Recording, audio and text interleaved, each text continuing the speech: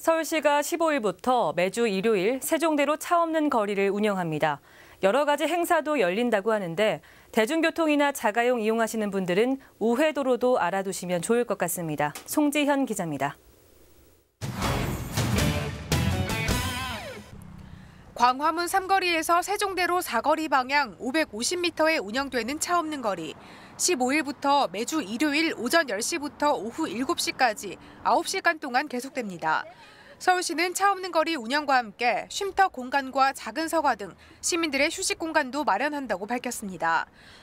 이외에도 시민들이 자유롭게 피크닉을 할 수 있는 공간과 매주 힐링 프로그램도 마련할 예정입니다.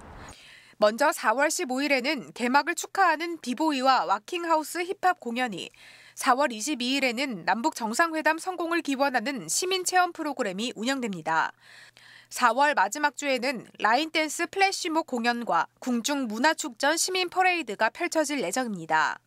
차 없는 거리 운영에 따라 광화문 삼거리에서 세종대로 사거리 방향 차량은 통제됩니다. 이에 따라 세종대로를 지나던 40여 개 버스가 우회 운영합니다. 또 통제거리 내에 있는 시내버스 정류장 3개도 폐쇄됩니다. 버스 이용객들은 광화문 앞이나 종로 1가 등 인근 정류장이나 지하철을 이용할 수 있습니다. 또한 차량은 통일로, 새문안로, 동부간선도로와 내부순환로, 우정국로, 새문안로 3길 등으로 우회해야 합니다. 서울시는 행사 당일 교통 혼잡과 시민 불편을 최소화하기 위해 안전요원 80여 명을 배치하고 우회 도로를 안내할 계획이라고 밝혔습니다. 딜라이브 서울 경기 케이블 TV 송지현입니다.